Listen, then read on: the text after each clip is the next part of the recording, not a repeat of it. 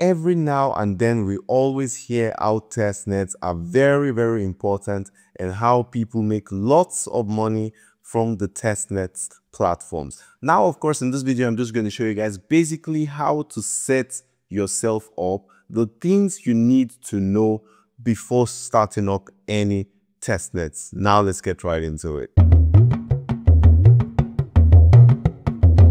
Now, of course, we're speaking about test nets and how you guys can make the most from the test nets by preparing yourself and making yourselves ready. Now, the first thing I would say is it's a step by step.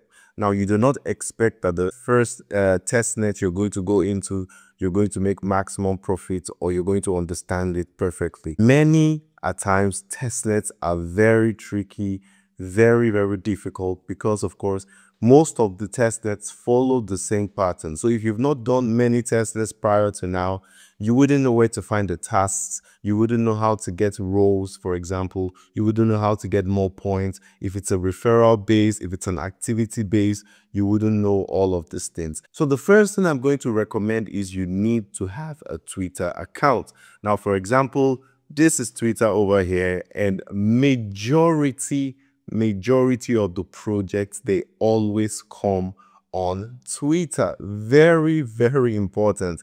As simple as it is, if you want to be first on any testnet, if you want to get the news from the horse's mouth, you do not want to miss anything at all, you need to be on Twitter. Now, of course, this is my Twitter account. If you're, of course, making a Twitter account or you already have Twitter, make sure you give me a follow. I will follow you right back right away. Just probably write something, you're from YouTube or I saw your video and then I'll follow back immediately. Now, why do you need a Twitter account? For example, as you guys can see, the current thread right now in front of me on the screen is from Incentiv. Incentiv is one of the top test nets that is just starting, is also incentivized. So meaning you're going to get probably rewards from running this testnet. And because 17 minutes ago, they just posted swaps are now live on the Incentiv testnet. So you do not need to wait for anybody to give you any information. Right away, you get the information right from the horse's mouth, which is Incentiv. Now, some of these projects, they give incentives for communicating on their site, retweeting, posting, liking. They give you some rewards and some roles on their Discord channels for doing most of these things. So as you guys can see, this is an Incentiv. Make sure you turn up all post notifications. So anything they post, you're going to get it right away. And also with this, if you're on Twitter, you can also farm referrals using this style because whenever they post something, you can easily write something in the comment section, quote the tweet, just, you know, interact. And there you can get probably more followers on Twitter or get much more referrals if the project is referral based. Now, as you guys can see, this is Incentiv. They just posted something about uh, swaps, which is something I've already, I made a video about Incentiv, but I'm still going to make a video on how to farm incentives very, very well. So now if you guys also go, for example, to all my post notifications, you can see Phantom is here, POG is also here. I mean, football is where Sui Network, Heat, everything that is legal, that is official, they are all here. Trust Wallet is they're all here. Okay, they are all here. All you need to do is follow them, turn on post notifications, and it's easy for you to get all. Now, of course, as you guys can see on my screen, this is absolutely crazy. What is the next thing here that you have to have? It is a must have if you want to farm testnets. You need to have a Discord channel. It is very, very important. Probably not a Discord channel, but a Discord account. As you guys can see, this is my screen. Now, once again, all of the projects, they always work on the Discord channel, at least all legible projects. Even scam projects still also have Discord channels, okay? But most importantly, the Discord channels has to be there. For example, you guys can see I'm following Recall, I'm following Intract Community, Sonic Labs. This is my own personal Web3 server. I bring all of the most important announcements from all projects into my own Web3 server. So I do not need to always go into the the uh, the projects to find the news. So this is a way of collating all the information. This one, you can do it later, okay? But first of all, you need to follow all of the projects on their Discord. Now, why is this very important? Because this is where you get the roles. This is where you get extra points. As you guys can see, this is currently Somnia and you can see the engage booked activity chart is giving people loads of points. Now all of those points will be very very important when they have to incentivize the token at the end of the day or when they want to give rewards to people. They will of course give much more rewards to people that have higher roles on the discord channels much more points. It is very important you have the discord channel. And also in the discord channels you can always find the announcements which is also the most important announcement from this project. For example, I'm going to go again to Incentiv, which is also here. We just saw the news on Twitter about the swaps now being live. Let's now go all the way here. Let's see from minor announcement if it's already here.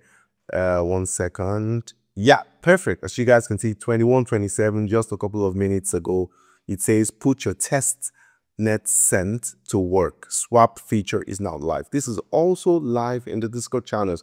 Lots of people have seen it. It is just crazy okay?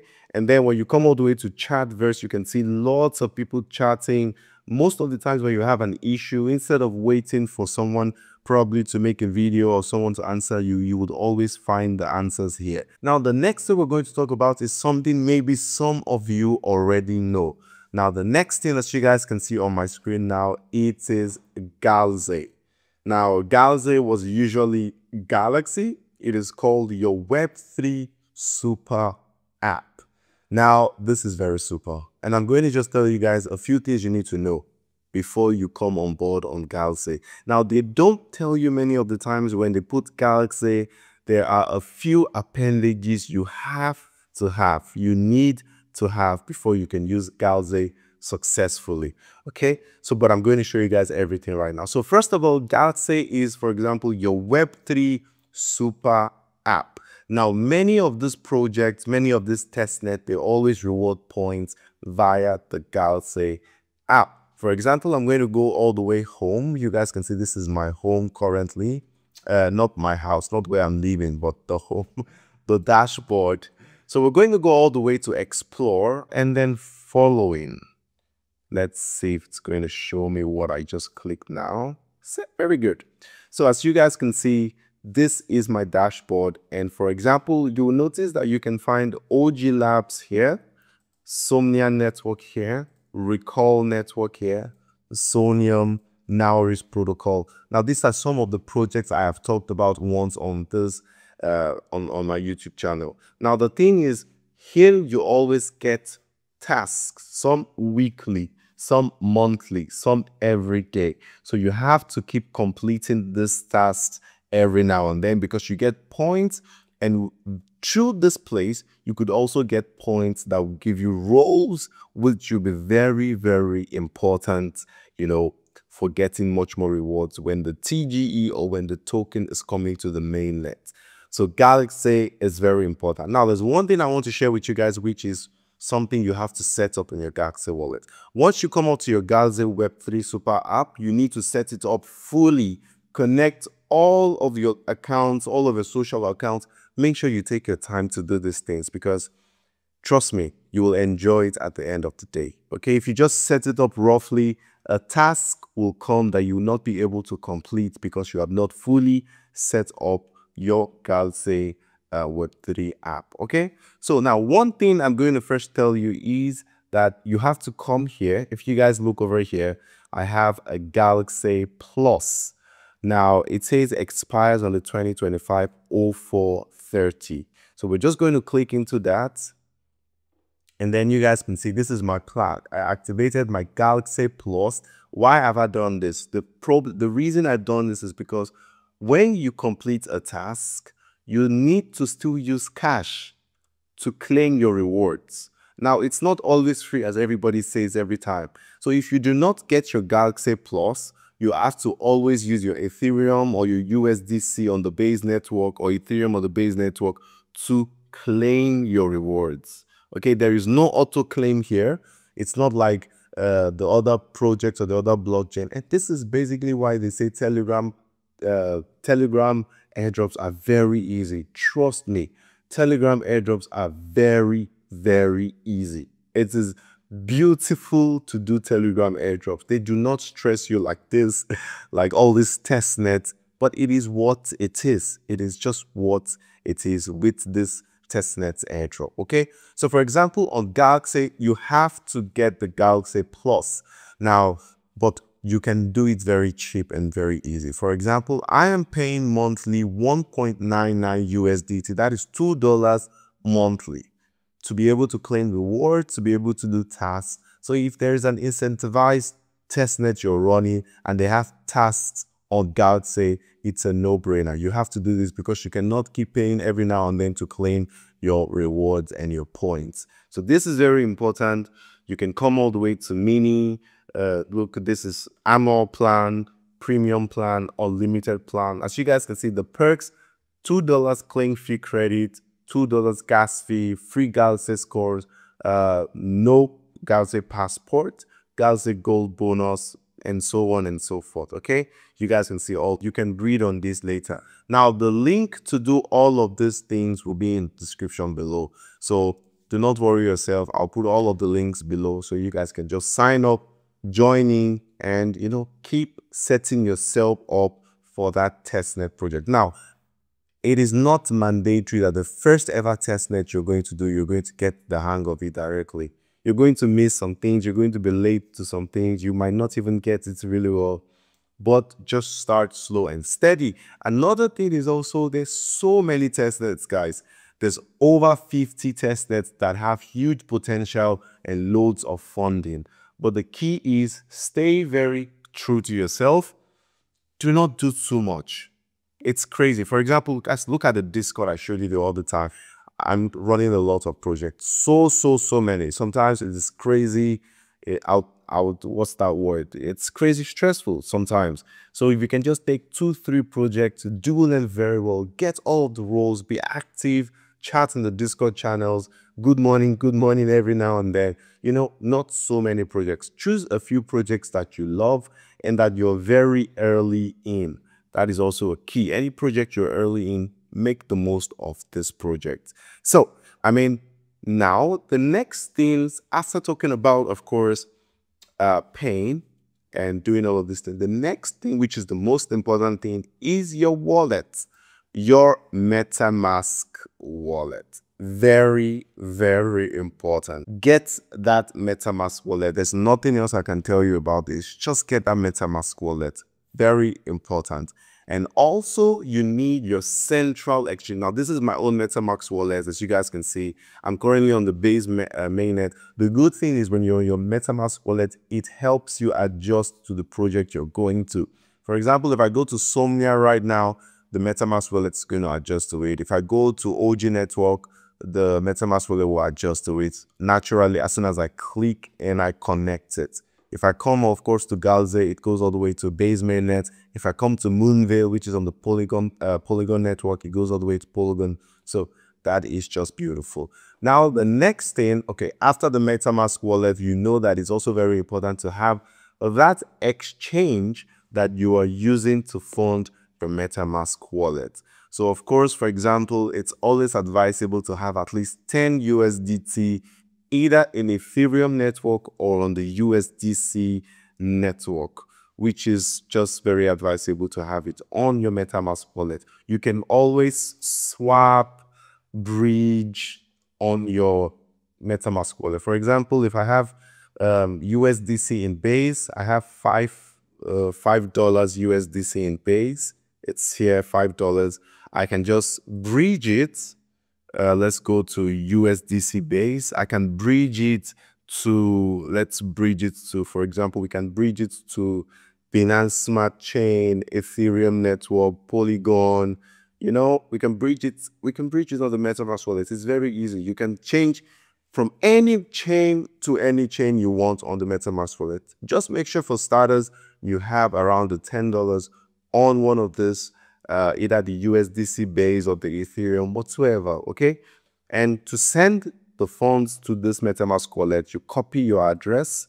Once you copy your address, you paste it on the exchange that you want to send money from or the wallet you want to send money from because you always need to have some amount of money on your MetaMask wallet if that is what is connected to your testnet because you can use this every now and then to mint NFTs, to do some tasks, to do some claims, you know, to just do some few few activities. So that is very important about your MetaMask wallet and the exchange that you're going to be using to uh, fund your MetaMask wallet.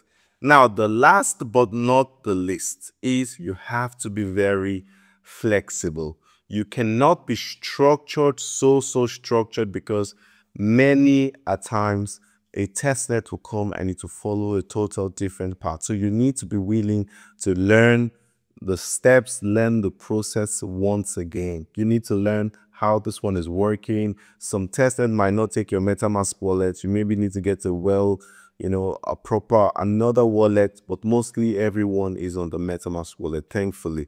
So you need to be very flexible. You need to be able to be fluid because sometimes the project will ask you, do some tasks on Intract, you know, do some tasks on Zealy, for example, if you come all the way here to recall, now this is recall here. It's also a test net which I'm currently on. And I also made a video of that. I think you guys need to join it right away, right away.